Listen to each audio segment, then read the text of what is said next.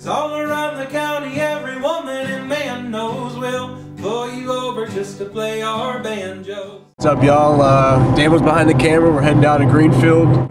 We're not ordered to be in court or anything. We just uh, learned of a meeting that's going on, public safety. The mayor and the chief and some other folks will be there, so thought it'd be good for us to get down there and uh, you know ask some questions and and uh, remind them of what what they did to us. Public Safety Department Policies and Procedures Review, um, we decided that we were going to take this in pieces. Um, um, Chief uh, Guilbault um, has provided a link via email so that we have access to those. Um, Did anybody receive those? No. Or Chief, did you just send it to me? Okay, if there was anything else at this point, um, we've got all the items on the agenda, so I'll open the uh, meeting up to the public. Anyone has anything that they'd like to bring forward? I'd like to speak to the floor. I'm not sure if it's for the committee or maybe the chief or even the mayor, but uh, I know I've spoken to them, I've attempted to speak to them all, or my colleague who's with the camera behind me has. But uh, if it is the Public uh, Safety Commission's duty, um, I think when you're reviewing the policies of the police department, there's an issue that needs to be looked at that isn't often used, but it is when people have things like this gentleman who has a camera behind me, and it's called felony wiretapping. And it seems the police department has a policy of issuing tickets to people for filming them, which uh, is not illegal to film a public official in the course of their duties, um, to deter individuals, citizens, from filming them for their public duties. There are cases uh, in 2007. Um, Emily Peyton was arrested in Greenfield, Massachusetts. I'm not sure if any of you are familiar with that case, um, but if you're not, I'll give you a few details. Um, Emily Peyton was filming a anti-war protest in a grocery store parking lot where a man climbed on a sign, and the, she was filming this uh, publicly. Um, the felony wiretapping law is designed to forbid people from filming them in secret, um, secretive or elusive or other terms of hiding. Definitions of hiding are over and over in the law of filming people. So Emily is filming with a two-foot camera in her hand, uh, a little larger than the one my colleague is holding, and uh, is arrested by the Greenfield Police Department because she was recording the audio. Are you intimately familiar with this case? Excuse me? Are you intimately familiar with this case? Did Um, this occur down at the Big Y on the Mohawk Trail? Yes, it did. Um, I am. I wasn't involved with that. I, I've, you know, I've recently met Emily Peyton um, through my experience because the Greenfield Police Department has also charged me with felony wiretapping for filming their uh, employees in their duties. Um, but anyways, to, to bring it back, the long story short of that case is those charges were dropped by the district attorney after several months and a very expensive proceedings at the state's or the city's uh, cost.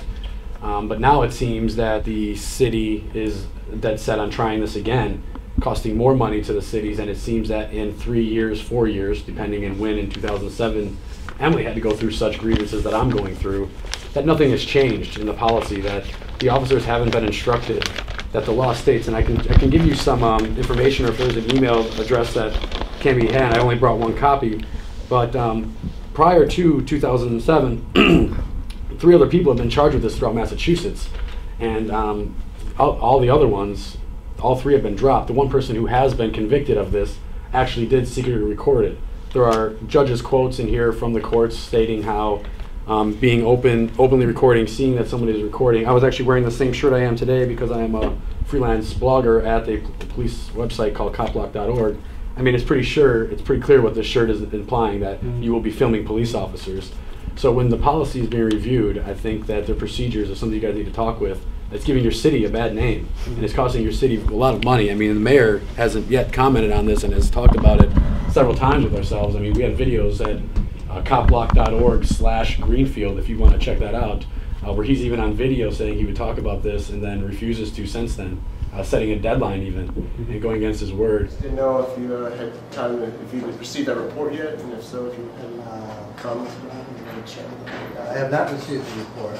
Um, I have scheduled uh, a departmental meeting, we have a monthly departmental meeting, so our next one coming up in August, we'll have, the police department will deal with this uh, internal the chief isn't very interested in speaking with any of us uh, uh, either.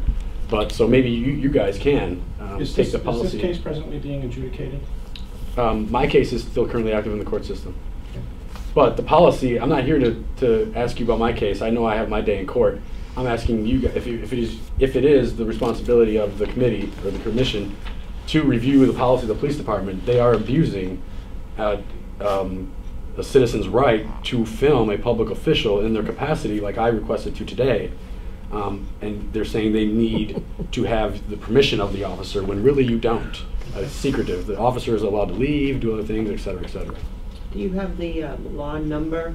I can read it to you if you like. 'cause I have it. I have it written down How here. how long are we talking about? Just a couple Nope, nope. Couple, paragraphs? couple sentences. That's fine. Not even. It says, willfully commits an interception. Now, interception is previously defined in, in point four as the term interception means to secretly hear, secretly record, or aid another to secretly hear or secretly record the contents of any wire or oral communications through the use of any uh, intercepting device by any person other than a person given prior authority by all parties. That's what their in term their definition of interception means. So back to the actual definition of the law. Again, starting over, willingly, willingly commits an interception, attempts to commit an interception, or procures any other person to commit an interception or to attempt to commit an interception of any wire or communication shall be fined not more than ten thousand dollars or imprisoned by the state prison for not more than five years, or imprisoned in the jail or house of correction for not more than two and a half years. They um, slap on the wrist. It's not a fine. They're they're wanting ten thousand dollars and five years of my life um, for filming uh, officers in their capacities. Um, again, I'm not here to plead my case. I know I have a court of law, and unfortunately, or luckily for me, the courts have ruled in my favor consecutive times. I just think if it's the committee's job to review procedures, um, it might be something of your interest to pull some strings uh, or your authority over such people because they're abusing it, which is leading to very costly uh, trials and budgets. I mean, I've heard a number of times today that budgets are an issue here uh, for the city these times, and it's also giving you guys a bad name. I mean, I wouldn't be here today filming this proceedings if it wasn't here. Okay. And so I just would like to take into consideration. Well, we appreciate you coming and bringing it to the commission, and certainly we'll focus on this uh, as part of our review. And I think you heard us indicate that that process is ongoing presently. Um, The entire policy manual for the police department is under review. Because of this incident? Um, It started before that, uh, the request has been months before, um, but there is uh, no doubt that um, every employee of the town of Greenfield, representing the town of Greenfield in any position uh, whatsoever, shall maintain a level of professionalism and a uh, level of resident and citizen courtesy that uh, shall not be exceeded by any other department in, in the area of the United States. So this, our job is to not be anyone, but to be the servants of our uh, taxpayers and our residents. Before you cross the street, you better look both ways, or we'll throw you in the pokey for a dozen days. And all around the county, every woman and man knows we'll pull you over just to play our banjos.